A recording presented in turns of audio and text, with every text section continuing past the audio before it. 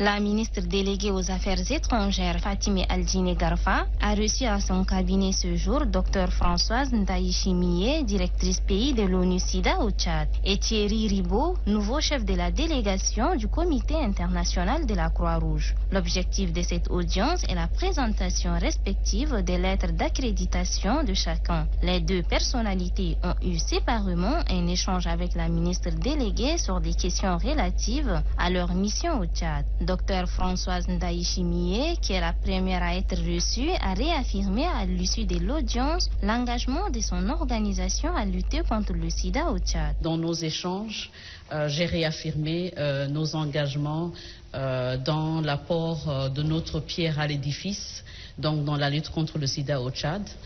nous serons toujours en appui du plan stratégique national euh, de santé, mais également du plan stratégique national de lutte contre le sida.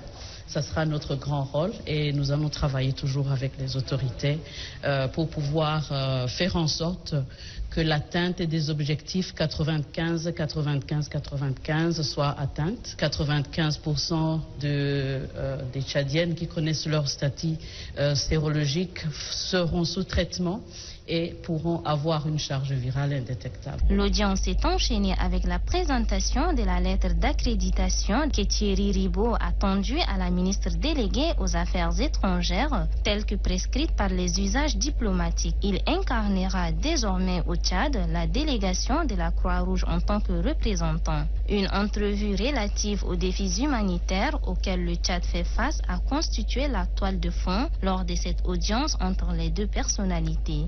Ah, nous avons brièvement euh, euh, passé en revue les, défis humanitaires euh, auxquels le Tchad fait face, effectivement. Et, l'ampleur de ces défis a été soulignée par Madame la ministre déléguée. Le CICR a une mission variée ici au Tchad. Nous travaillons à la fois dans les régions du lac, dans l'Est, euh, et également dans le, dans, le sud dans le sud du pays.